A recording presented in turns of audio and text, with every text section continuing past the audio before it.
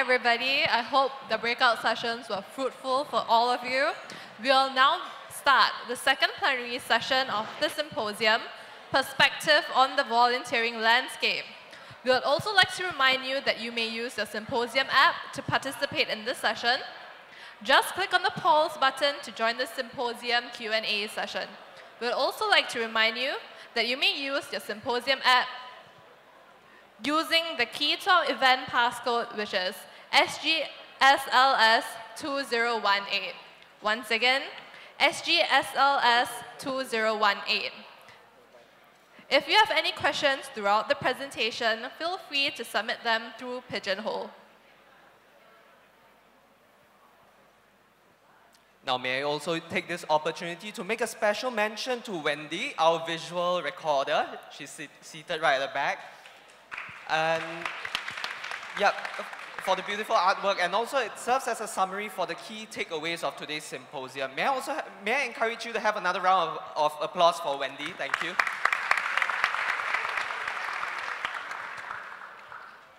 As the volunteering landscape continues to evolve, there is a need to change the ways we engage with our volunteers. This session explores the motivation of volunteers and suggests strategic and innovative ways to engage different types of volunteers and stakeholders to play a part in supporting community development. The diverse backgrounds of the panel speakers will offer valuable insights and viewpoints on building strategic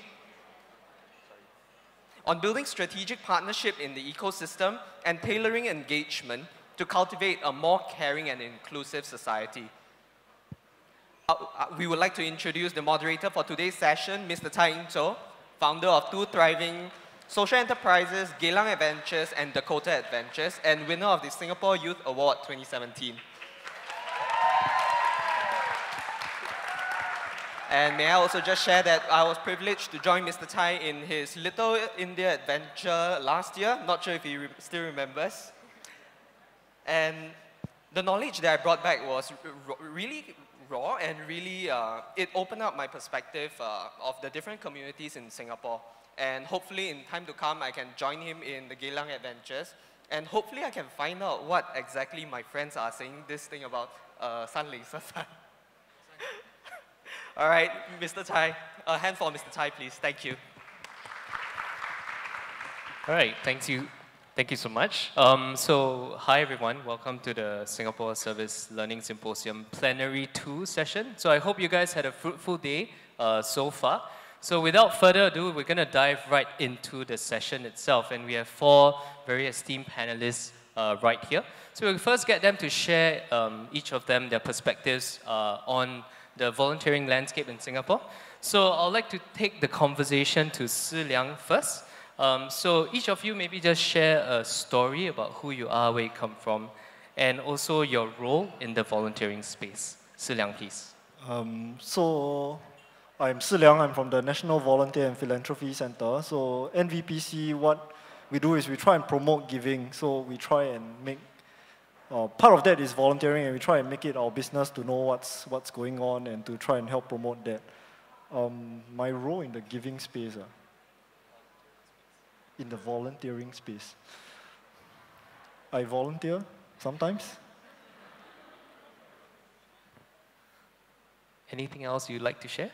Um, so, so NVPC, well, okay, I'll talk a bit about what NVPC does then. So NVPC does a little, uh, in terms of promoting volunteerism, we have platforms like Giving.sg, which is a portal that um, you can look for volunteering opportunities, and then we have other programs like the Volunteer Experiential Program.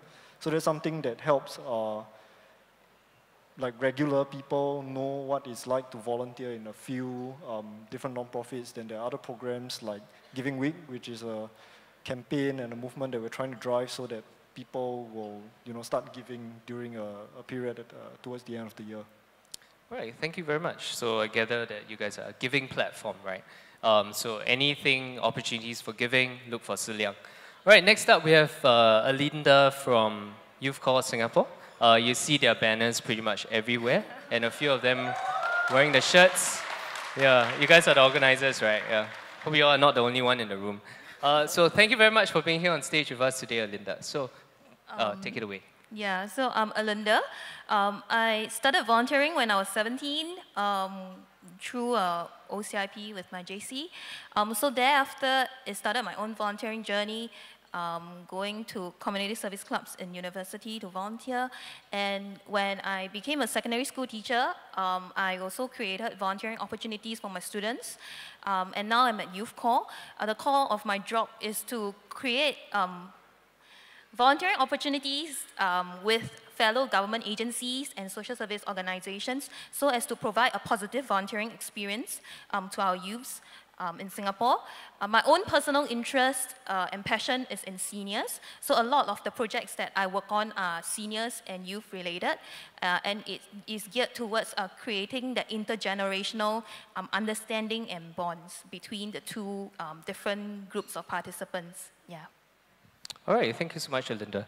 Um, so I believe we've heard um, from Youth Corps as well as NVPC, who are a bit more formal organizations.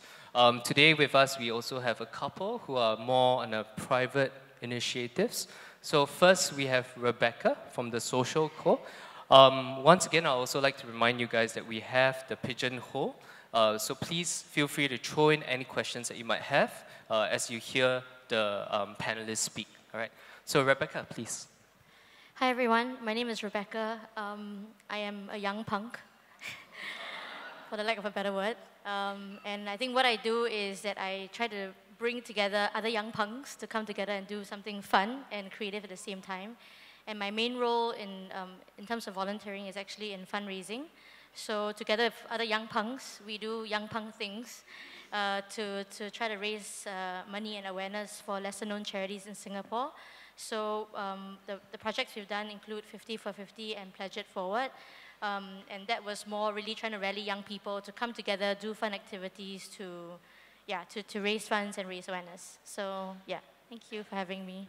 Okay, wow, young punk thing. So I hope you guys identify with being a young punk. Um, I'm not sure whether there's an age limit for that, like 35 or something like that. But I believe you didn't use the word youth intentionally. So lastly, we have uh, James, uh, who is the founder and lead strategy consultant for Emmaus. Am I pronouncing that right? Okay, so Emmaus, uh, what do you do, James? Tell us. Um, okay, I'm definitely not a young punk.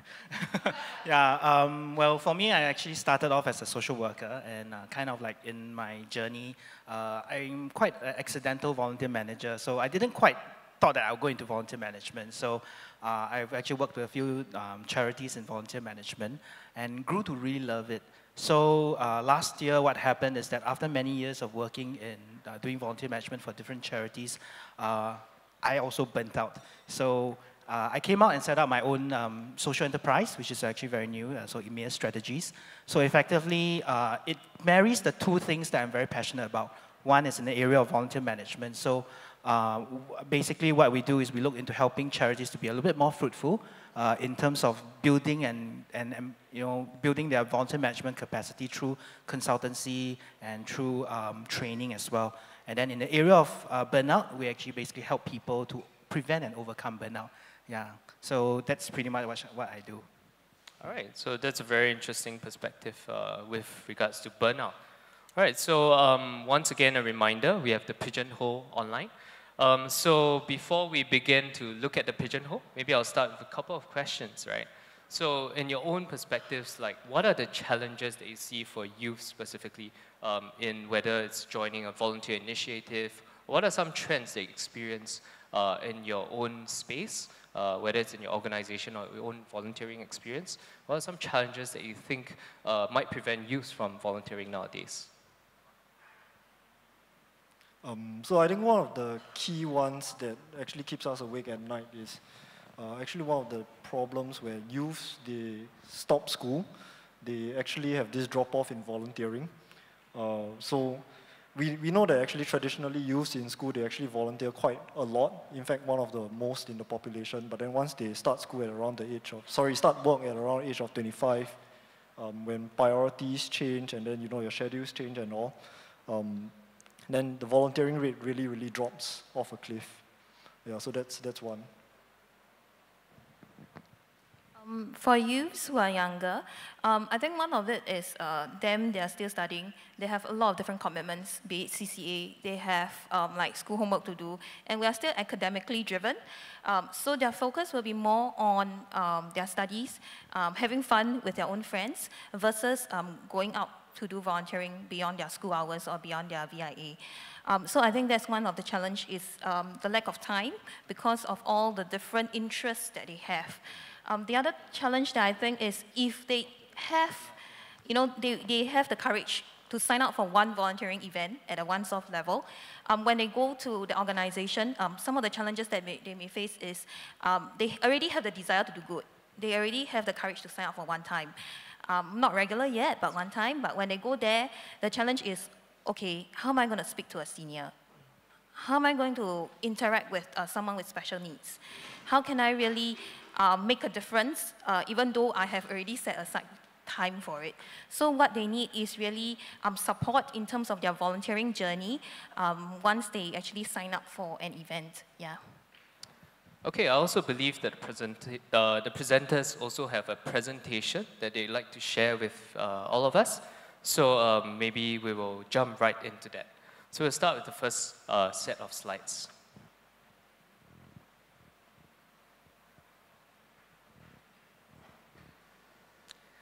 Can we get the one for NVPC? Okay, so while we're working on that, um, I believe you guys uh, are from different organizations and different roles. Uh, but what we're also trying to learn from is what kind of methodology that each of the organization takes. So, Si Liang, please. Okay, so what I'll do is I'll share a little bit about the giving landscape and the volunteering landscape. Uh, not, uh, it'll start off as not a youth-specific thing uh, in particular, and then I think the rest of them will, will share a little bit more about um, youth-specific volunteerism. So I think before we talk about what's happening right now, let's talk a little bit about what's, what we're seeing, uh, the trends that are coming in the future. So first of all, I think one of the big trends that we, we see is givers behaving more as consumers. Um, so you see people who donate, but they're not just happy to give you $10 because you're a charity, but then they're now asking questions about oh, who are you actually serving? What, where is this money going to go to? Um, and similarly, in the volunteering kind of a space, we see that for volunteers, they're actually looking for meaningful activities. So not just, oh, okay, I'll come here and sweep the floor and, and be done with that, but then they will actually question and they will, they will say, can you give me something a bit more meaningful? Uh, and sometimes also, can you give me something easier? The second big trend that we see is actually a rise of individual activism. So you see actually a lot of um, peer-to-peer -peer fundraising campaigns. You see a lot of ground-ups that are starting, so in, in the free gun space or in homeless space, lots and lots of uh, individual um, causes. And you see people go straight to the problem and to try and do something about it than to, to actually work with traditional charities. And the last trend that we kind of want to talk about is collaboration. So we actually see a lot more collaboration, whether it's between ground-ups and government or businesses and, and traditional charities. And I think it's that realization that to achieve impact, uh, we need to work together. So what is volunteerism in Singapore actually like? Well, I think the first thing to note is actually between donating and volunteerism, you, oh wait, actually that's the next slide, give me, buddy. um, you see that actually volunteerism in Singapore is on a steady increase. So in the past 10 years, the, in 2008, volunteerism was actually 17%. And in 2016, when we took the measurement again, it's actually 35%. So kind of in the last 10 years, we've, we've almost doubled the proportion, the rate of people who are volunteering. And then correspondingly, you also see that the total number of hours has increased from 45 million hours to 121 million hours. So I think this is a reflection that um, overall the, there's a greater awareness of needs in Singapore and a, a greater awareness of volunteering in Singapore. So how volunteering compares to donation is that actually you notice that donations are always easier than volunteering. And that kind of makes sense, right? Because when you see someone on the street asking you for money, it's easy to give them a couple of coins or a couple of notes. But then if you want to volunteer, you have to put in effort to um, shift your schedule around and actually make time to go down and do it. Uh, if we look at volunteerism, age, in age buckets wise, like I mentioned just now, uh, for the 15 to 24 youth group, that's the school-going youth, you actually see a very high rate of volunteerism. And we actually exclude things like VIA and CIP, but we think that as a, probably as a result of these programs, you know, you already know where to go, you're already familiar with what you're doing, you have the, the, you know, the empathy and the awareness of it, it's easier to continue volunteering. And then, like I said, once um, you start working, there's a huge drop-off. So that's something we've seen in, in many, many years. Uh, for the 25 to 34, priorities are different. People volunteer a lot less. In 2016, we also saw a huge uh, spike in the 35 to 44 and the 45 to 54. So this is, these are effectively your mid-career kind of working people. Uh, we think that might be because the CS or CSR has made it a lot easier for people to volunteer, and so as a result, the volunteering rate there has actually increased um, beyond what was the, the school-going youth one. And uh, for the 55 and above seniors, we usually see a drop-off uh, in the volunteerism rate. So if we zoom in on the youth in, uh, in particular, well, I think the first thing to think about is what youth are really like. So we know youth make up about a quarter of the population. Uh, you know that they are, from, from the National Youth Survey, they are very civic-minded and they're very active in the community. Uh, but we also know that they're worried about a lot of things. So worried about things like studies, worried about uh, adult responsibilities, so things like you have to start paying your bills, uh, buying a flat, that kind of thing, it costs a lot. Um, they, in terms of what they desire, so there are a lot of youths who say that they would like to be taken seriously and they want to be useful. Uh, however, at the same time, they don't want to be regulated. They are entrepreneurial, they'll pursue challenges.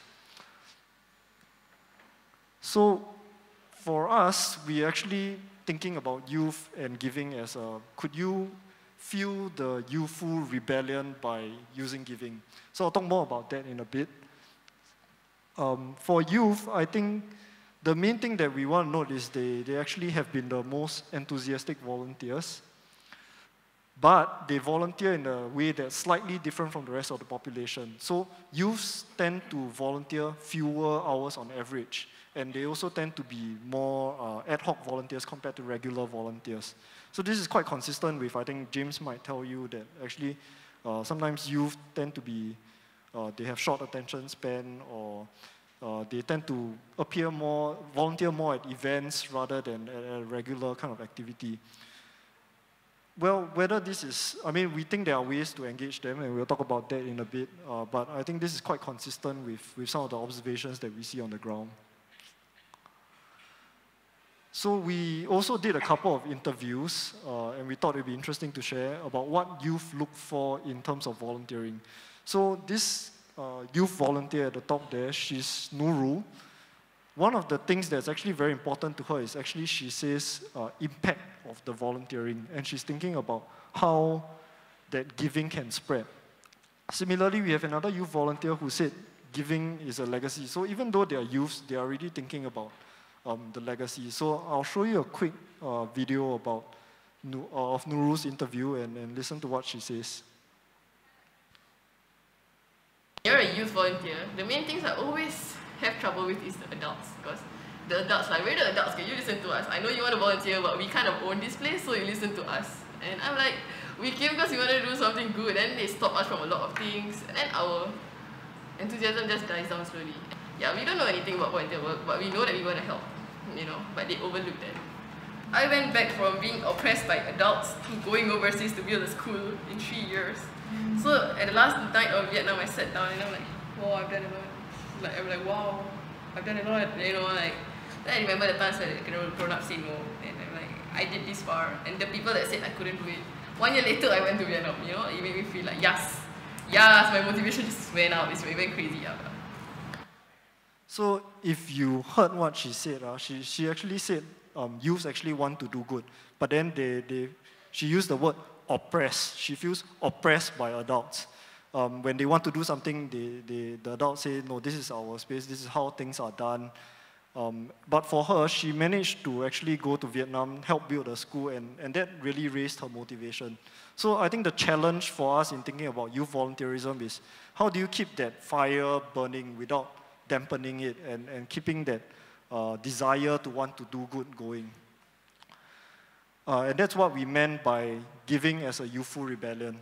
So just a couple of ideas that we're going to throw up, and I know the rest of the panelists are going to talk a little bit more about that. But one of the ways is actually you can, you can offer them resources, uh, give them their own initiatives, provide them with the support uh, and the autonomy to do their own projects. So that's what we mean by fuel the rebellion.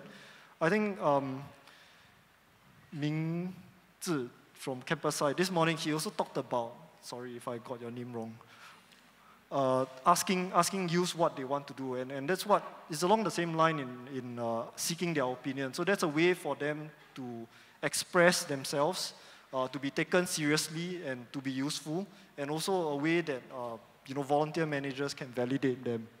So I'm, I'm not going to go through the rest because I know you guys are going to talk more about it. Uh, yeah, but that's the last point that I really want to leave you with, and if there's one thing that, that you can take away is actually different groups of people look for different things. You know, we say youth look for autonomy and they, they care a lot about the impact and the cost. Um, midlife people, they care about inculcating values to the next generation. And then you have seniors, for them, relationships is damn important. You know, the relationship that they have with the volunteer manager, with the organization, that takes precedence over everything else. But I think the big thing that we want to share here is actually different groups of people, different groups of volunteers, they are all different in their own way. So the, I think the trick is finding out how to engage them uh, in a way that works for them to speak their language that, that is really um, important. Yeah. All right, thank you so much, Liang. Um, yeah, so I think one of the takeaways that I had was about how youths align more with meaning. What is the purpose and what brings meaning to life? Um, kind of reminds me of the Maslow's hierarchy of needs uh, as we become a lot more developed. Self-actualization is a huge thing. Um, so passing on the time now to an expert in youth matters under Youth Corps, right? So tell us, Erlinda, what do you have? Okay, um, yeah, this is a, I, I believe all of us actually uh, have the experience of managing youth volunteers, um, be it CIP or um, be it VIA students or uh, any random youths who walk through the doors. Um, this is just a simple sharing about what we have been trying out at Youth Corps, and it seems like uh, there have been positive responses from the youths, and this is uh, some of our uh, program framework that we use. Um, so um, we are we would like to actually um, empower our youth, to equip our youth with uh, skills and knowledge, so that ultimately um, it will inspire them and motivate them to become regular volunteers and later on step up to become volunteer leaders. I think in our landscape, uh, there are a lot of people who are saying that I need regular volunteers, I need volunteer leaders. But um, if you look left and right, basically everybody need regular volunteers and volunteer leaders, but where are they? so I think that's what Youth Corps is trying to do, is really plant the seeds of volunteering um, to let them have that positive uh, experience so that ultimately in their volunteering journey, they will really want to step up and do more. And that's where later on, I mean, many years later, we will see the fruits of our labor, um, especially if we work together in this um, journey. So first of all, in order to um, see how we can manage um, volunteers, we actually did a research on what are some of the motivations of um, volunteers when they come through the doors. Um, based on research, these are top five reasons why um, someone choose to volunteer. Um, as you can see, there are intrinsic motivations like giving back to the community, learning new things for, to make a difference. And there are also some people with ulterior uh, motive, like um, making new friends, come here and find girlfriends or boyfriends. and of course, the large bulk of our volunteers are from um, the schools, VIA, um, corporates, CSR, and sometimes we also have our MSF probationers um, coming in to join um, us in the volunteering journey.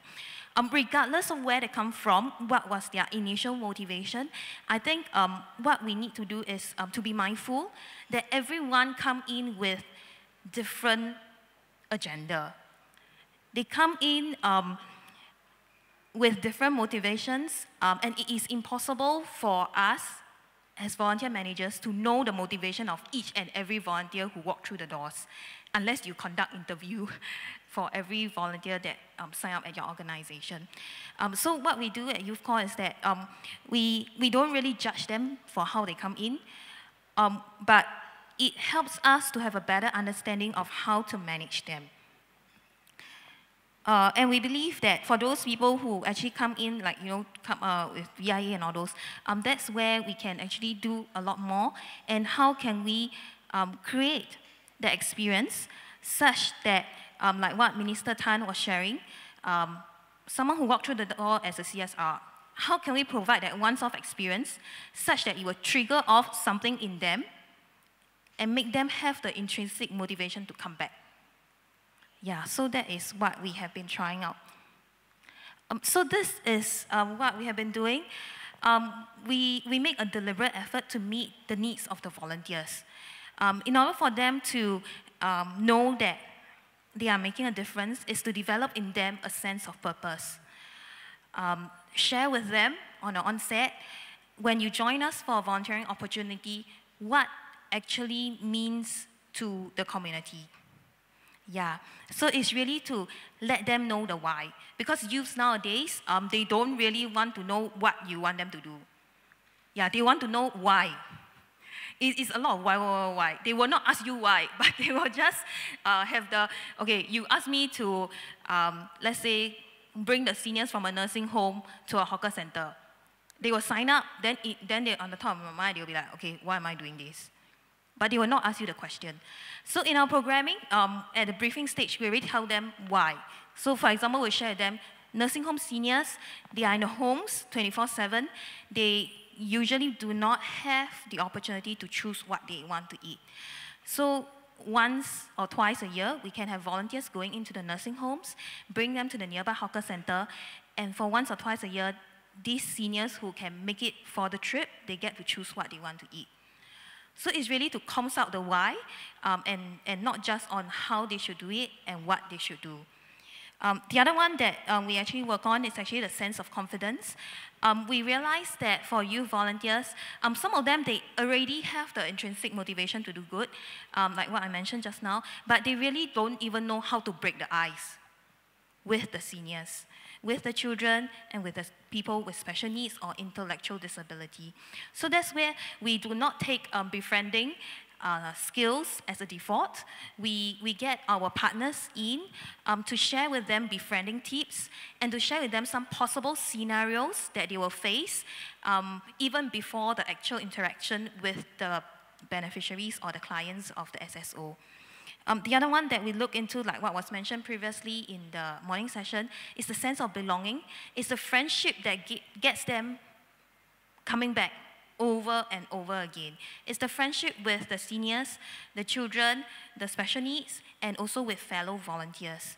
Um, so we are very deliberate in the sense that um, in the programming, we actually get them to network with each other um, to, to basically create a volunteering family.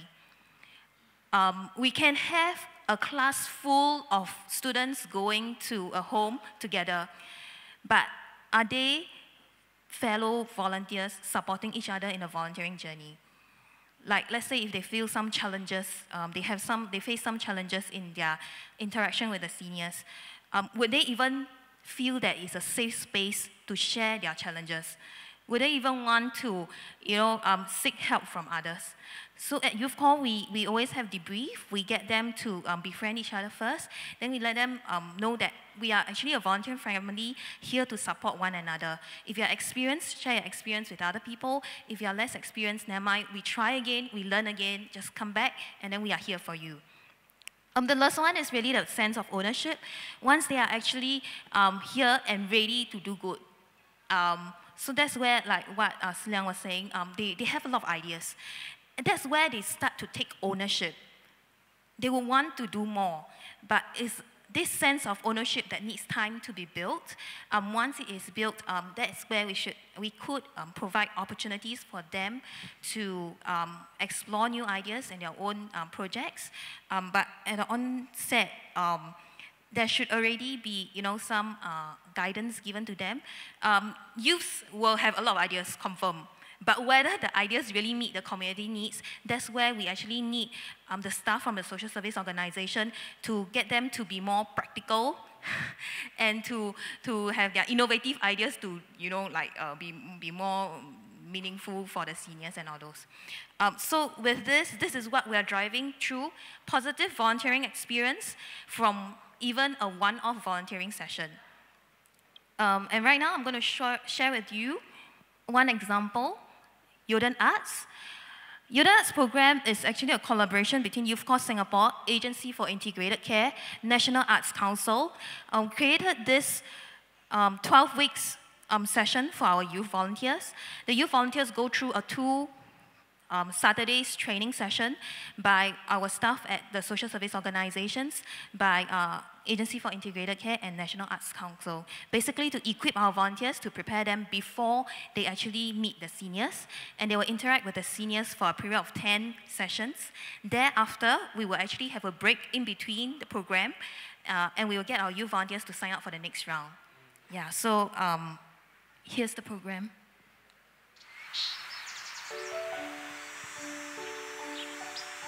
As an individual in a country with aging population, I think the elder care sector is growing and definitely needs more attention. Yodan actually stands for Youth plus Golden, uh, where youth refer to us, the volunteers, and Golden refers to the seniors.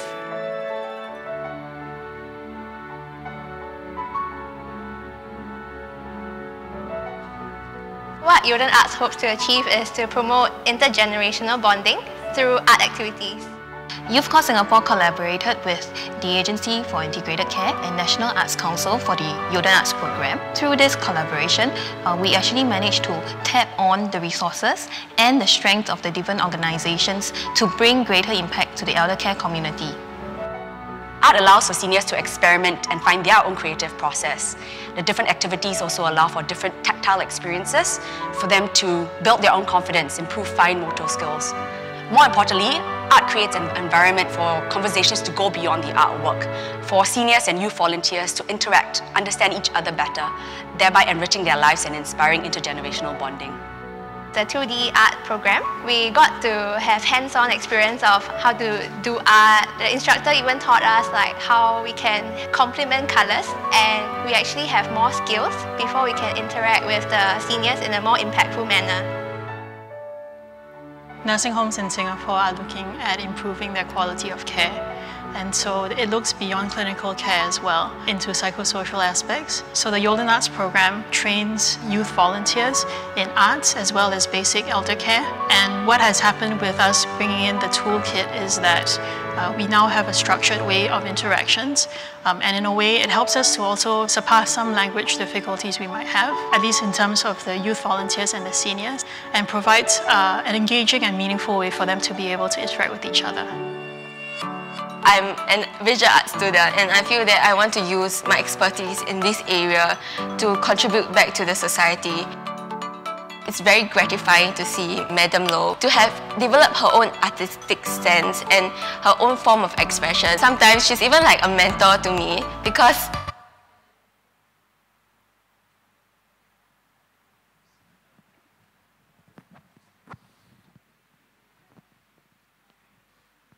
Okay. Uh, so there's uh, some error, right? Never mind, it's available on YouTube. So, so you can actually Google Yodan Arts, Youth Corps Singapore. And the last part of the video, it actually um, has uh, um, our youth volunteers, our seniors, um, sharing with uh, the viewers um, the impact that they actually experience through the program, be it the learning from the youths and also um, the, the, the experience that the seniors went through. Yeah, uh, so it's a pity that I cannot see that part. Okay, but anyway, um, so I'm running out of time. okay, um, for Yodan Arts, right, um, or rather any other volunteering opportunities that we have, um, what we actually uh, strive to do is really to augment the work of the staff uh, with trained youth volunteers uh, because we think that youth volunteers really need to be equipped with the skills and knowledge before they go. Um, I think there are a lot of um, educators out there thinking of which are the organizations that uh, provide training for youth volunteers. Um, I would say the quick answer is the organization that you're partnering with. It requires a lot of buy-in from the organization, but I think gradually they will see the effect. Um, so when we first started um, this kind of programs with our um, partners in nursing homes, they are also very worried that um, why should we pump in so much time in our youth volunteers when they may not stay for long. But um, if you manage to let them to convince them to actually try out for one time and they see the effect, um, that's where they will be more willing to make the commitment. Um, so it's really getting the nursing home staff to actually train our youth volunteers and then to get them to augment the work that they are doing. So what happens is that uh, um, there are already homes that are conducting um, activities for the seniors and these activities, uh, honestly, they need volunteers one nursing home staff, like a nurse, versus 10 to 15 seniors. And every single senior is of a different mobility level. They actually need volunteers to provide that one-to-one -one, um, interaction and assistance. Um, the other one is um, the activity is actually very important. So we have tried different activities. Um, I think um, initially when I was a teacher, I tried getting our students to go and uh, go through the bingo sessions with the seniors. Um, it isn't okay, I know it's meaningful for the seniors, but it's not interesting for the volunteers. Um, to them, it's just sitting there waiting for the numbers. Um, so they do not feel engaged, they do not find it interesting. So they don't even look forward to the sessions at all. So it became like very forced. My, my teacher asked me to go and play bingo with the seniors. Yeah. Um, but art is different. The other one is actually games. We have uh, Yoden uh, Physio, we call it Yoden Physio. We actually get our youth volunteers to go in and conduct um, physiotherapy games with our seniors, um, with the physiotherapists there to lead the sessions. Yeah. Um, so the activity needs to be interesting for all the participants. And um, in order to develop that ownership, I think, um, and for the youths to actually start their own uh, initiatives, it will be better if it is after they know the seniors.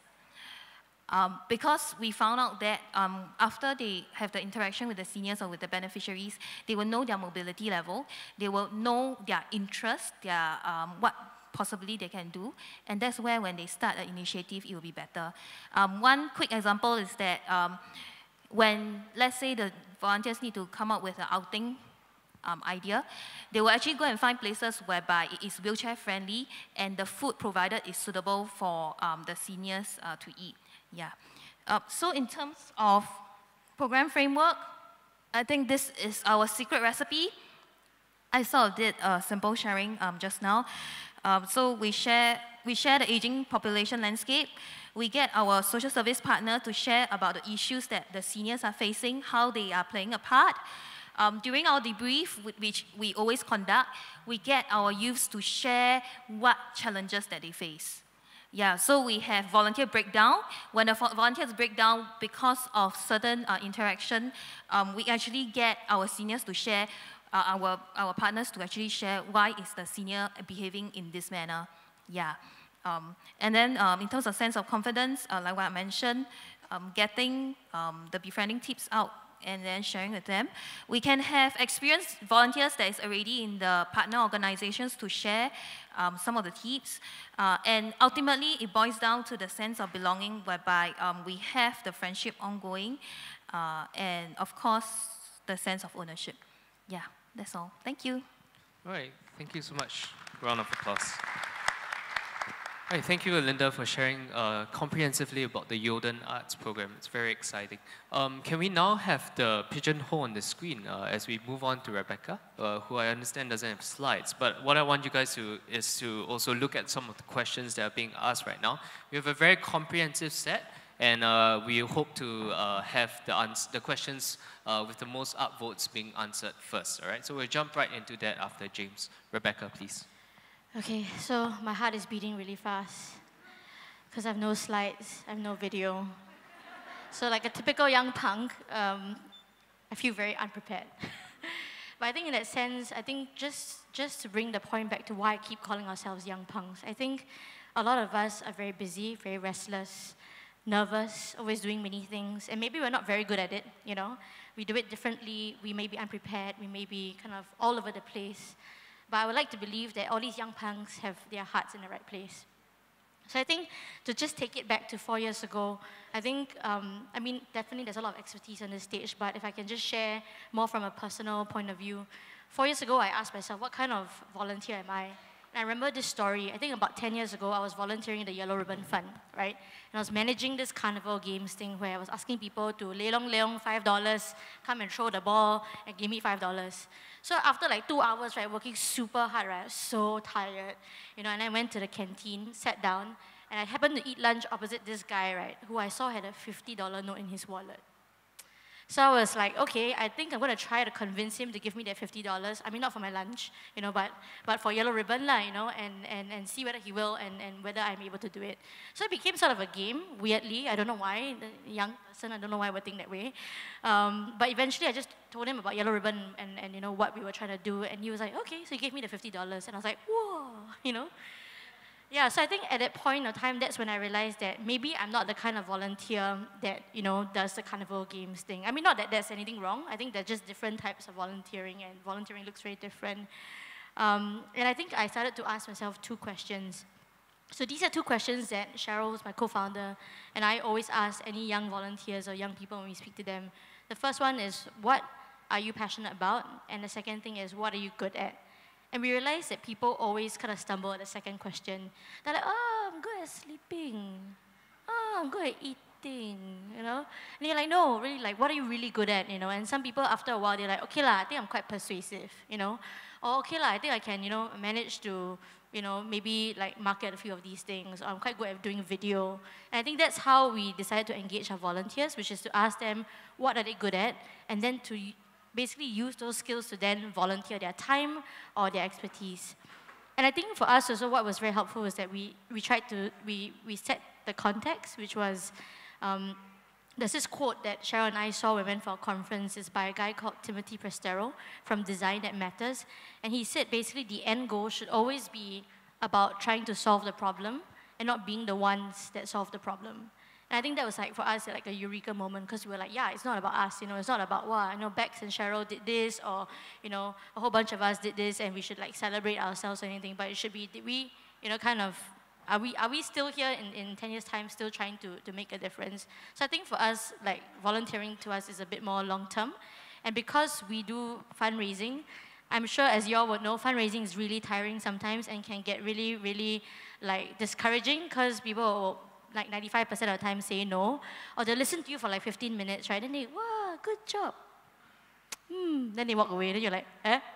yeah. So I think sometimes we can get very discouraged lah. So I think for us, one thing that we we tried to do when we engaged the, the young people, right? I mean, is to basically find out, like like I said, what are they good at, right? So we had this one person, right, who like really like to eat prata. I know it's, I mean, it's hardly a thing that you would say, oh, I'm very good at eating prata, right? But she just loved to eat prata, right? So what she did was that she said, you know what, I'm going to throw a prata party.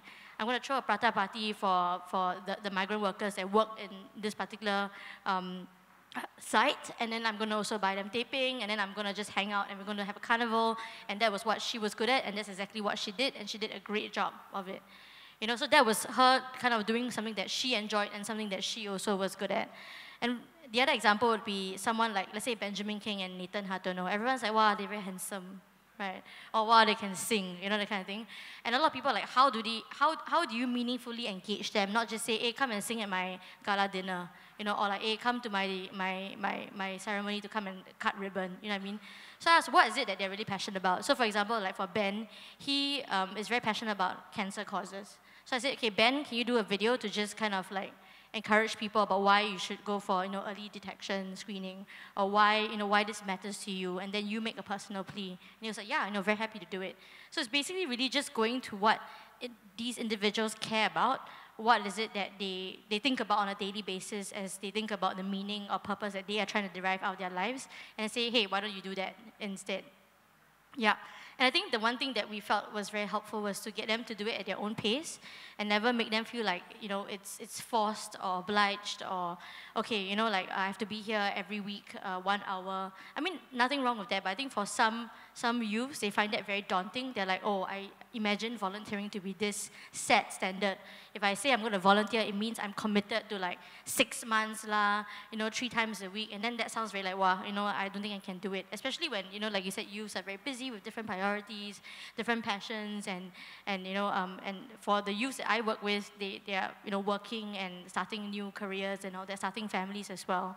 So I think we wanted to just be careful with their time. So I would say to some of them like, okay, I know you're super busy, but can I just get one hour lunch with you every month? You know, and then they're like, oh, yeah, I can do that, you know, because that sounds, that sounds doable, right? Like, I mean, if I ask you guys, like, can you guys have lunch with me sounds really weird. like you probably be like, okay, one hour lunch is fine, right? But if I say, hey, can I meet you every day this week um, for one hour at 5 p.m. to 6 p.m., you'd be like, wow, this girl very intense, right? So I think it's more of like trying to figure out like the way, like how to engage people and how to engage them meaningfully.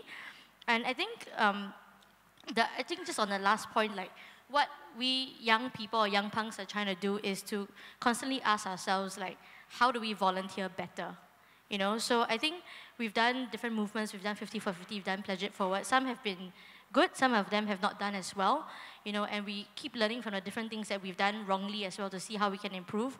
But I think one thing that we as an organization really learned is how do we get better at knowing our subject matter? You know, so if let's say we want to work with seniors, you know, if I gather a group of young people to talk about how to work with seniors, that's, that's not right because we're the seniors, right? We don't want to just be a bunch of young punks trying to solve a problem that we totally don't understand. And then, I mean, it just might be condescending in that sense. So I think what we're trying to do now is to improve our knowledge, not assume, and also understand a particular subject matter. So actually, the Social Co is now focusing a lot on elder care or basically senior living, so we should talk. you know, um, and, and kind of getting different industry professionals to come together with seniors in the room, always have seniors in the room, to talk about simple things like, what does design mean to you? Because what design means to me can be very different from what a 70-year-old thinks of design, you know? And I think the problem with some youth uh, some of the young volunteers is that they get very caught up with a, a particular like oh oh like hey uh, you know it's a good idea then yeah yeah it's a very good idea then everyone validates each other and like, oh we think it's a good idea then when you ask the seniors they're like uh, okay lah, I don't think I'll do this lah, you know. So I think we, we just wanted to be a bit more careful with the way that we um, volunteer. So, so yeah, so I think we, what we're trying to do now is, in order to be better volunteers, we are trying to learn and spend more time with VWOs to really understand, like for example, for seniors, I want to spend more time with my, with my grandfather. I think I'm always just like I think like you try to figure out like how do you improve communication between young people and seniors. You know, like we all know we should spend more time with our parents and our grandparents, but we don't. Like why? Is it language? Is it dialect? Is it awkwardness? Is it there's so many different factors. So I think for us, we are trying to kind of just understand that a bit better, and that's what volunteering looks like to to me. All right, that's great. Thank you, Rebekah. All right, we're going to move on to the last panelist, uh, James. What do you do at Emmaus? Sorry. Yeah. Um, so one of the things that we actually do is actually helping charities to build, basically build their capacity and capability in volunteer management. So um, yeah, my, my slides are there. Can you get the slides, please? Can I have my slides, please? Okay, so basically for, um, yeah, okay, that's, so today basically, uh, can I just ask, uh, have you actually heard of the app called Tinder? Yes, you know, right? You just swipe left, swipe right, right? Not, not that I used it, lah. Uh, not my era, okay? All right, but um, when I was actually thinking about today's um, presentation, I kind of think about it, and I kind of relate to this because when I first, uh, just now I shared that actually I started as a social worker, and then kind of somehow became an accidental volunteer manager. So volunteer management has never been on my cards. I've never thought of doing volunteer management because being a young social worker, a young punk then, I wanted to do direct work, you know, with people, and then here I am, gone down the route of doing volunteer management. What is this? You know, I'm, I'm the furthest away from the beneficiaries. I'm working with volunteers. But I, I started to actually see myself as a matchmaker. If you actually kind of think about it, I'm actually trying to understand what the needs or the potential of the organizations are, and I'm going out to find people. And you're basically also trying to find volunteers and you know, they, volunteers do come with different expectations and all that well, and then you kind of find how the organization meets that. Also. So kind of like a matchmaker. So today, you know, from what I'm actually sharing, it's not so much of uh, saying that, oh, I, I, know it all, but it's, um, I, I kind of entitled this, um, you know, collaborating for collective good, uh, the winning or whining formula, you know, because it does make a difference, you know, whether you, how you work with volunteers, it could be a winning formula or whining formula. So, um, so that's, that's a little bit about me. And so if, um, sorry, can I just?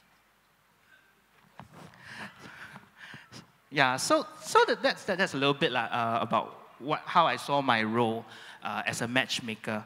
So the question is then, what's the big deal about this whole thing? You know, why, why, why should we actually even look about working with, for example, youth? The first thing, of course, is that all of us know that worldwide there is a trend towards episodic volunteering. People are volunteering less and less right? Gone are the days where people like stay on for like 20 years service, 25 years service. Uh, you can get them to stay two weeks is good already, right? So with this, it actually becomes very difficult to get volunteers. And there you actually have a group of people who are, in a way, captive audience, who you could actually work with, uh, who actually come, can come on board. And I quite like uh, what them has mentioned. I think there is always this thing about the youth, even though, yes, when they are coming on board, they may come on board uh, very short term, but don't forget they could stay. They could stay if they have a very positive, good experience, right, with your... So we started thinking about that and just saying that, yeah, I mean, this is, this is actually a potential pool you could work with. So why should I not look at working with youth? You know, um, of course, the other thing about it is youth, uh, the profile of youth itself. Um, I actually, when I was working in one of my previous organizations, right, I think typically what we do is that we always, when people go to the website, you kind of list down, I need volunteers for this, I need volunteers for this, I need volunteers for this. So when I went, I, I said, I want to try something different. I want to encourage volunteer-initiated projects. So I actually provided a pathway, uh, and I actually went to create a template for people to actually propose projects. And true enough, most of these projects that came through are actually mainly from youth because they have ideas. And frankly speaking, you, you can sit in the social service organization and can keep thinking about the same thing, you know, it's like no new ideas. But sometimes the, the, the youth can come with very fresh ideas. You know, later I'll actually share with you a case study of a youth group that I've actually worked with. And if you think about it, end of the day, another reason uh, why this is a big deal is because I always find that working with volunteers, especially with you volunteers, to be a very win-win situation because on one hand, you get volunteers to actually help you. On the other hand, you're actually building these youth up. Have you ever thought about that?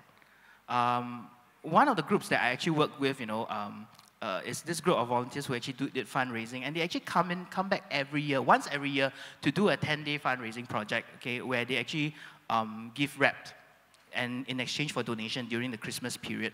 So they have been volunteering many years with me, and then one day, you know, they went to university, and they came to me, you know, and they were quite very proud. Says, you know, uh, when I go and look at all my CCA people, uh, their organization skill cannot make it, you know. So I say, yeah, you don't be yeah, yeah, just because you had a head start. Uh, because from the very beginning, when they actually proposed for the projects, right, we actually gave them, in a way, quite a bit of autonomy to, to run things. Um, believe it or not, we even allowed them to meet up with the malls.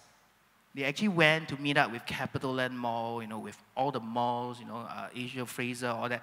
And they actually went to negotiate that. We actually allowed them. Of course, initially we went with them. But then they actually had opportunity to actually learn a lot of skills that they later on found to be very useful, whether it's in university or even going in, you know, to work. Um, the last I heard, the, the two leaders now have started working already, you know, and I, I believe the skills that they picked up actually helped them in the work. And lastly, I believe that this is actually sowing because don't forget, these youth volunteers will become adults. They will become your adult volunteers as well. And a lot of these people will go into companies because I also realize, uh, I don't know whether statistics show, but I think there are more CSR um, projects now, right? Companies are coming, knocking on doors, saying, I want to do CSR.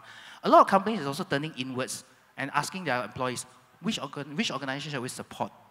Some of your views may go into this organization and may say, support this organization, you know, I've been volunteering, it's a very good cause. So it's sowing for the future as well. So I thought, actually, it's, it's a big deal, you know, why we should work with you volunteers. So um, this is basically the project I'm talking to you about. Uh, it's called LoveFed.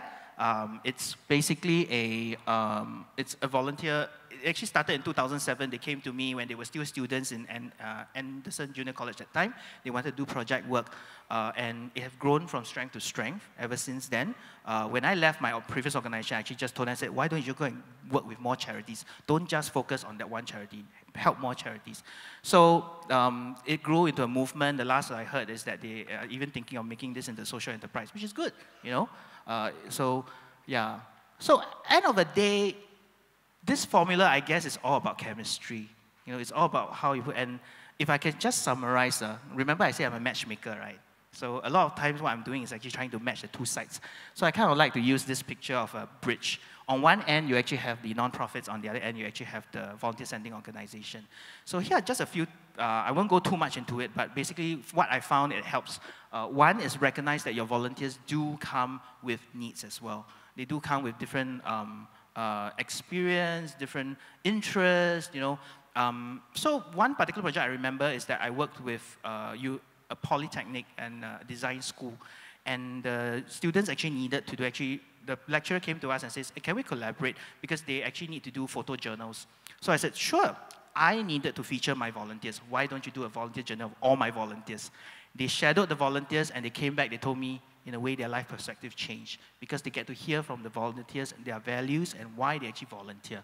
So recognize that they actually come with different um, expectations, different needs, and how do actually do you meet that? It's not just about you meeting, remember it's a win-win. The second is resonate. Yeah, I think, I think Erlinda mentioned giving them purpose, you know, why is it that they're volunteering? Why does it make such a big deal about them coming to volunteering with you? Uh, raise them up, you know, um, position them for success, uh, give them the resources they need, um, but also allow them to fail.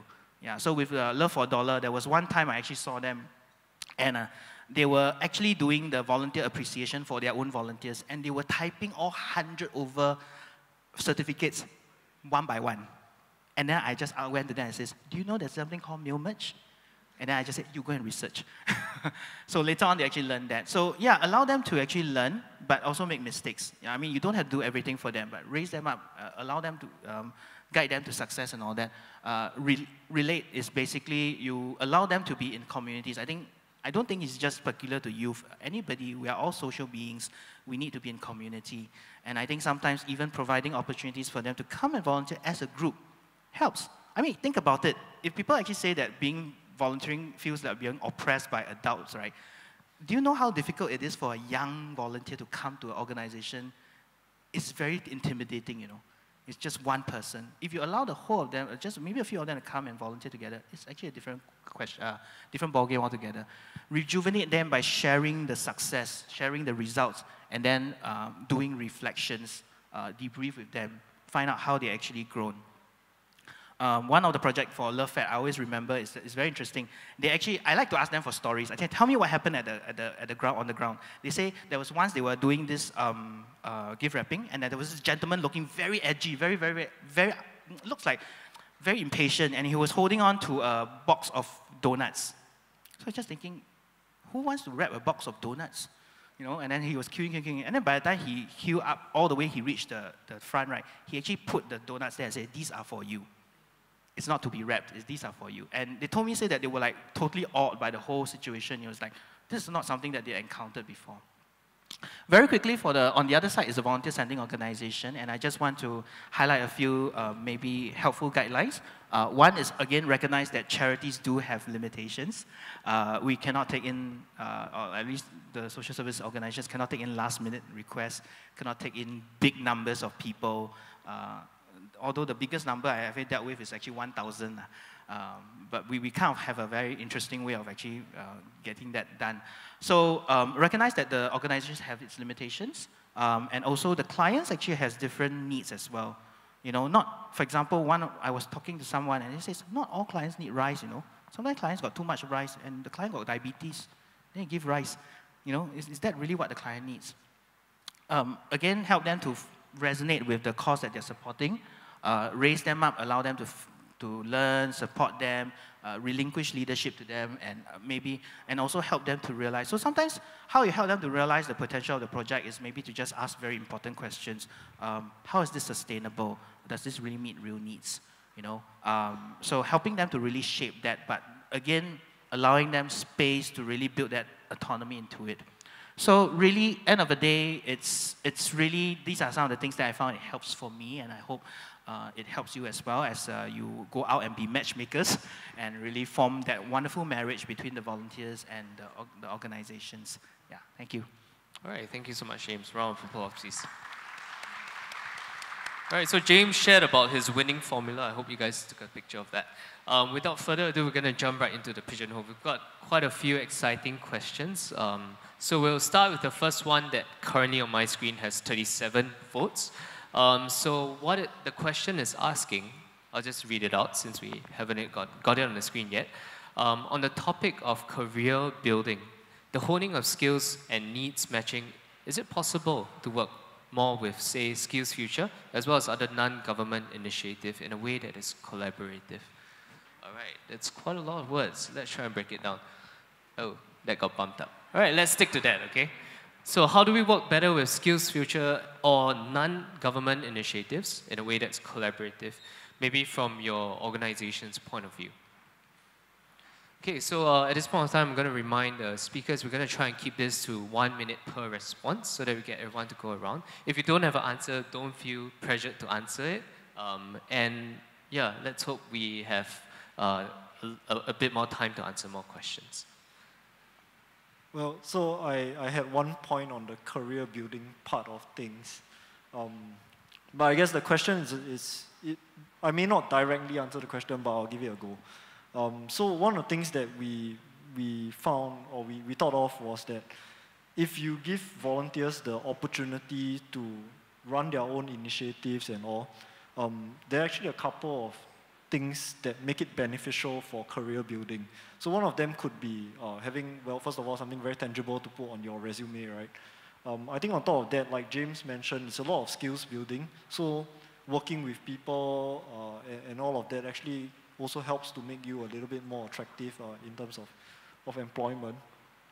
Uh, can't really comment directly on things like SkillsFuture. I mean, I do suppose in, in some instances you can take some of the skills, um, like, like Rebekah mentioned, in, in terms of marketing and video making and all of that, and uh, apply it to a, a volunteering for charity kind of a context. Yep. Maybe, maybe I can, I can try, try to answer the question. So I think it's more of um, an accidental thing that happened with um, Airbnb. So Airbnb, um, they, they launched this thing called experiences, where instead of just you know renting a, a place to stay, you can try out local experiences. So I think one part of the experiences that you can work on is basically doing something that is with social that is social impact related. So I think I was just browsing one day and I saw that there was, I mean, I don't know whether you consider this a skill, uh, to me it's a skill, uh, but um, it is um, learning how to cook chap chai, you know? And it was with Auntie Catherine, who is from the Touch Senior Activity Center. And I was like, okay lah, I go, you know, because I want to look, I want to learn how to make chap chai, because it's Hainanese chap chai, and it was from my grandpa.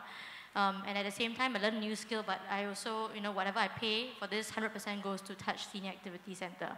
So after going for that one time, I was like, this is really good because, you know, Auntie Catherine was an amazing teacher. The chap chai was very yummy, you know, and I decided to just like rally some other friends to basically go and learn how to make chap chai lah. So tomorrow actually we're going to go and learn how to make chap chai. um, and it's something that was completely unplanned and you know it's an unexpected, I guess, working relationship. Wow. So uh, Auntie Catherine having a platform to uh, teach people how to make chap chai as a passion. So that brings me to my actually next point, which I'm hoping the other two panelists can answer. So how can we leverage on technology to promote volunteerism? Um, for example, matching volunteers with organizations, and maybe being a platform for volunteering collaborations as well. Um, the thought was also, if so, where does the funding come from? So we heard about Airbnb as well um, with experiences. So that was a private sector initiative. So funding definitely um, is uh, sustainable in a, in a larger sense. Um, maybe for the other two panelists, are there any instances where tech has uh, been an enabler other than mail merge, uh, which you shared? Um, okay, so I guess down here is talking about using technology to promote, and I don't think it's using technology to manage volunteers, right? So in terms of using technology, I believe there are existingly, I think existing out there, there are a, a really a few solutions that you don't really have, like giving.sg and all that. Um, the, I think there's the SG Cares app and all that also that you could actually use. Um, so sometimes I'm, I'm also a bit worried because if you do, you do want to have too many solutions out there also because you kind of like spread everybody across uh, and then you, you also want to actually have people going to certain places to find where the volunteer opportunities are. So there are actually uh, existingly there are um, solutions out there that you can actually kind of find. Um, do a bit of resource sharing. I, I, I, believe volunteer managers tend to actually be very, very resourceful. You know, it's just a matter of whether how do you actually share the resources and um, with one another. Um, yeah, and but for that, I think there are, in terms of funding, if you're talking about technology for managing volunteers, then yes, there are also solutions out there, and I, I believe uh, NCSS actually has some funding. I think you can go and talk about to them about it um, under VCF or something like that. So uh, again, I'm not the authority in this area, so I'm not sure, but uh, I do know that there are uh, areas like that that can help you as well. Yeah. James, you also mentioned being the Tinder of uh, matchmaking, right? So has there been any apps that you kind of sense have fulfilled that function of being like a Tinder for volunteerism? I haven't seen that, although actually in a previous volunteer training that I did for volunteer managers, one group very interestingly came up with the idea for Vinder. so it's volunteer Tinder. So I don't know. I mean, if there's anybody out there who's enterprising enough who wants to go and explore this, you know, where you just swipe left and right to find your volunteers or your left and right to find your organization, I thought that might be an interesting idea. Uh, yeah, but it's quite exciting to see whether that will materialize. Yeah. All right. Thanks. Um, in order to promote volunteerism among the youths, I think we need to target where they are. And I think at this point in time, they are using a lot of the social media. So it also depends on the resources that you have at your own organization. We do run uh, ads on like Facebook, or we use our Instagram. We get our let's say our youth volunteers or our interns to actually come up with Insta story with whatever um, activities that's ongoing. We actually capture it on all these platforms and then get them to share. Um, we also have like um, volunteer leaders out there. Um, we get them to share their own volunteering experience uh, and then get them to share among their friends because uh, we realize that word of mouth really get them to come on board. I think the other thing if um, it is geared towards the managing of volunteers. At Youth Corps, we actually developed this uh, Youth Corps portal whereby um, any youth who is interested, they can just sign up. It is free of charge to be a member, and immediately they can see all the volunteering opportunities um, in Youth Corps. Um, and I think gradually, ultimately, um, Singapore will have a, a, a VMS 3.0 system um, whereby um, in the first phase, it will be government organizations to um, come on board first to share the volunteering opportunities, and uh, subsequently, maybe you can see how um, um, different VWOs can come on board um, to, to tap on this kind of volunteer matching uh, system. Yeah.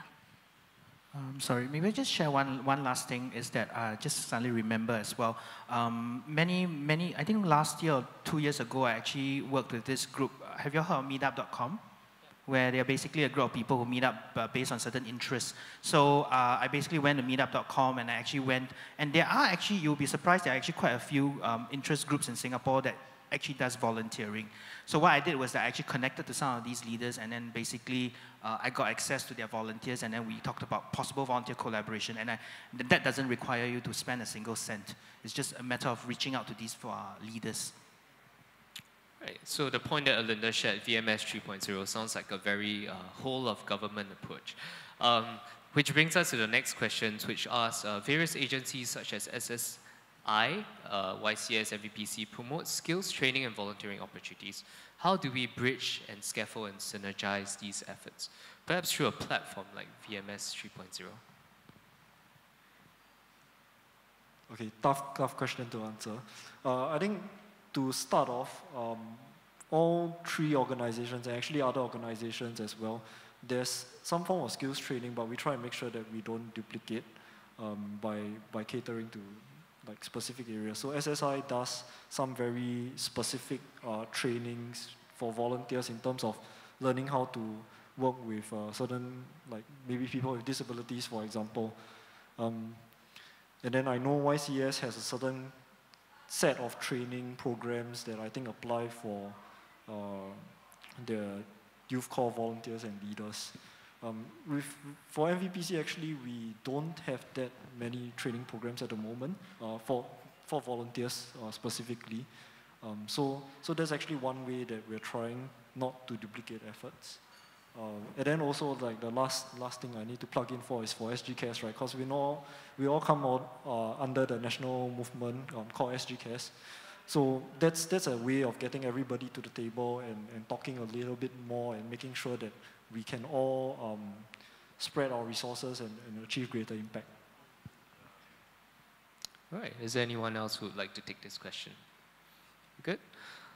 All right, so we have time for one final question, uh, which I'm going to choose since I'm the moderator. So it's actually the one with 17 votes, but uh, it's asking a very important question, uh, especially with fellow uh, volunteers and volunteer managers in the room. Uh, the question is, how can we prevent burnout of volunteers uh, and volunteer managers? Okay, I guess it's, um, burnout will be my topic. um, I may not be the right person because I burnt out as a volunteer manager. but I think with volunteers, uh, we in my previous organization, we actually um, put together our own volunteer training. Uh, and specifically with my team, we actually told volunteers, we had a segment on self-care. Because if you imagine being a volunteer, you cannot just keep giving. And we, very, we were very deliberate, intentional in putting that as a segment because we want to message to the person that, you know, you need to self-care. And so um, one of the things we brought to mind, uh, because in the training we talk about self-awareness and then self-care, we actually got them to uh, talk about their misconceptions about taking breaks. And you'll be very surprised. Some volunteers actually think that taking break is a big no-no, you know, it's like a big sin. You can't take breaks. How can you do that? There are tons of uh, other needs out there. Um, so we have to actually take that opportunity to correct some of these things. In fact, we actually very openly tell the volunteers, say that it is okay to take breaks. If you need to, come to us, talk to us, talk to, I mean, don't just burn out and just disappear, you know. I mean, we rather be a little bit proactive and, uh, and preventing it from happening in the very first place. Volunteer managers, of course, um, you know, like, you know, like what Rebekah mentioned, you actually, you connect with your volunteers, you kind of know whether they are burning out, um, and you talk to them lah, before it happens. Uh, volunteer managers, I think it, this role, frankly speaking, if you ask me, is a very tough role. You're actually doing a lot of different things. So um, one thing I find that helped me, lah, okay, even, I, even, even though I eventually burnt out, but I think I kind of pushed burnout a bit later is that I actually work with volunteers. A lot of volunteer managers kind of forgot that you keep finding volunteers for other people, right? What about finding volunteers for help you? You know, uh, there, so there was once, uh, what happened was that I realized that I had a lot of interviews to do. I didn't have time. I got to do the policy. I got to do the IT, the IT system. I got to do the interviews, the screening. So what I did was I actually went out and I actually find people who could help me do volunteer interviews. So I actually trained one or two person and they actually helped me do. Uh, so I think it's really being a bit strategic in that sense of knowing how to manage your own workload uh, and knowing when to say no and knowing when to voice out, knowing when to get help you know, and don't, don't just keep giving because I think volunteer managers sometimes with your kind of role, you can keep giving and you forget about caring for yourself as well. Yeah. Yeah. I think, I think for me, it would be a very simple and maybe like the thing, which is to, to almost have like a buddy system. Because I, I think sometimes I just need someone to say, you know what, this sucks. You know, this is really hard. You know, this, like, let's go eat prata you know, I don't know why I keep talking about prata, but, you know, let's go do something else, you know what I mean? Let's go do something else together. Um, we can communally agree that this is terrible or, you know, it's just a tough day, and then we will just take the weekend off and we come back again. I think that's the, the first and first thing that I would recommend. I think the second thing is to also constantly um, keep yourself inspired with what's coming up and what's new. So not just within Singapore, but kind of looking at things like fastcompany.com, seeing what's being done around the world, or seeing how technology can really help to, to change things. I think the more I read, the more I kind of like, you know, keep myself inspired. I feel that, okay, you know, like, you know, I think I can, I think can, you know, and then it's, it's better lah for me. Um, I think if the issue is about burnout and preventing burnout, that means the group of people that we're looking at are actually very passionate. Um, volunteers who are already serving but continue to serve in many different organizations, um, or volunteers who are working until 4 a.m. but still turn up at 8 a.m. at the home. Um, so I think what, what it boils down to is, uh, first of all, acknowledge the good work that they have uh, been doing. Um, but before we can even acknowledge is to know them as a person. yeah, I think uh, as volunteer managers, uh, when we are managing volunteers, uh, we should sort of have an idea of who are the really passionate ones and going all out to serve the community. Um, is willing to know them as an individual and is to have constant check-in with this kind of people, um, this group of people, because we do have um, people like accountants who work until 4 a.m. and every single Saturday they turn up at 8 a.m. Uh, and what we do is really to give them that um, personal care and concern. The volunteering family thing that um, we spoke about just now, Buddy, um, with regards to volunteer managers, if they are experiencing burning out or soon to burn out, I, I think it's more of, because volunteers always turn up at weekday night, if not, then it's Saturday and Sunday. Um, so I, I, guess it will be uh, on the onus of the uh, organization to actually check in with the staff and to let them have uh, sufficient rest um, during the weekdays. Yeah. All right, so with that, there was a final question. Thank you very much, panelists. Um, we will just end with a quick round. Um, one final tip you give to the audience right here.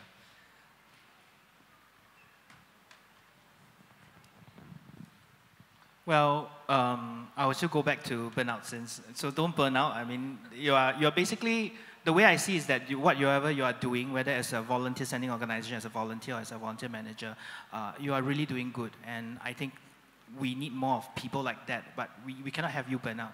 So you just basically need to take good care of yourself. Yeah, that's all. All right, thank you, Rebekah. I think it is very similar to your point, but it's just knowing that you also matter, that your place in the world is important, that what you're doing is important, that you know the fact that you guys are all here and you know the work that you are doing is important. And I think, yeah, I, I just wanted to say thank you, I mean, for all the work that you guys are doing, and yeah. Um, for me, I think uh, there are two. For those who are coming from schools, educators, um, I think the core of what we do is really to plant the seeds of volunteering and to have the empathy in our students. Um, I think maybe um, some of you are already doing it. For some of those who haven't, um, it's really down to what is the community need instead of getting the youths, uh, instead of getting the students to start their own projects. So maybe go back to the question, what is the community need? Um, then for those um, social service organizations, um, it's about um, maybe you want to think through a volunteering journey and how would you make changes to create that positive volunteering experience so that from a one-off volunteer, they can become regular volunteer and ultimately go back to your organization and be a volunteer leader. Yeah. Um, I think I'll say something to build on Linda's point earlier, and, and also because uh, most of the people in the room are, you know, either educators or social service uh, practitioners, right? Which is, I think just now when we were talking about burnout, um, we were talking about one of the things that that keep us going, and it's remembering that you are actually not doing this alone, remembering that you are doing this and serving people who want to make the world better, and, and drawing inspiration from people who are around you outside of your organization as well. Right, the ecosystem is doing good. So with that, I'd like to thank everyone for being part of that ecosystem of doing good. Um, and we'll hand the time now to the MC, who I believe is presenting the panelists with tokens of appreciation. Round of applause, please. All right, thank you, uh, plenary speakers, for sharing your perspectives. Uh, please remain on stage for the presentation of our token of appreciation. We would like to invite Ms. Angela Wong, Deputy Director, Engagement, Youth Corps Singapore, to present tokens of appreciation to our speakers. Firstly, we have Mr. Hua Liang.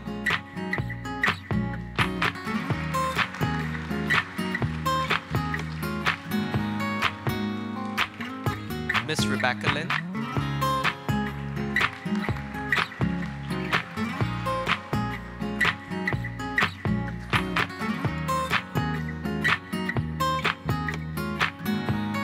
Miss Erlinda Heng.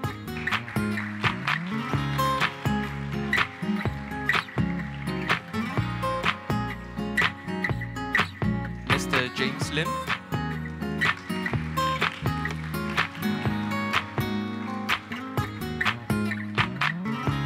And of course, our moderator, Mr. Cai.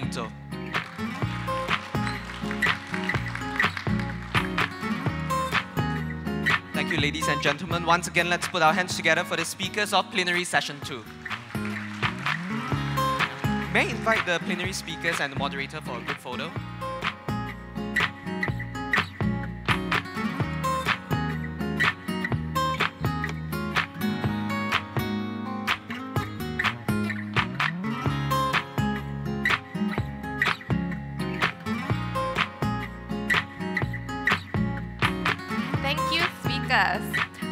Gentlemen, before the end of the day's program, we would like to invite you to complete a survey of the symposium. Your feedback will be great, greatly beneficial for our future planning. Please refer to the instructions on the screen for participants accessing the app.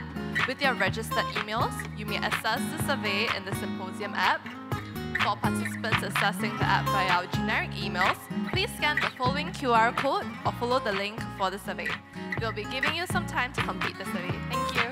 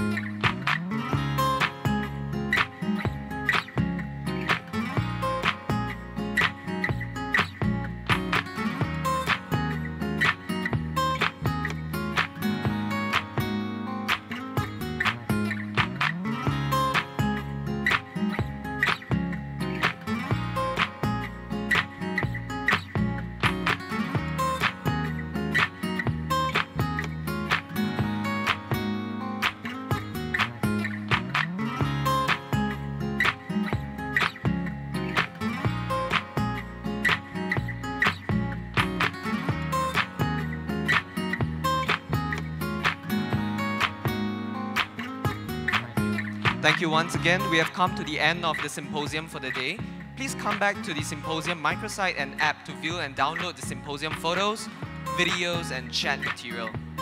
We will also like to remind you to look out for the Asia Pacific Regional Conference in Service Learning in 2019. It will be held in Singapore for the first time, and it is hosted by the Singapore University of Social Sciences. We hope to see you then. Later, when you guys are taking your leave, at both of our exits, we actually have a box for you to place your lanyards if you no longer wish to keep it. These lanyards will then be used either by any social organization or anyone who would actually like to collect these lanyards, please just approach any YCS staff will instruct you on how you can get hold of these lanyards for your organization's future use. With that, ladies and gentlemen, thank you once again for joining us today, and may we all leave inspired to continue building and contributing to the ecosystem for collective positive impact to the community. We wish you all of you a very good evening. Thank Thank, you. you.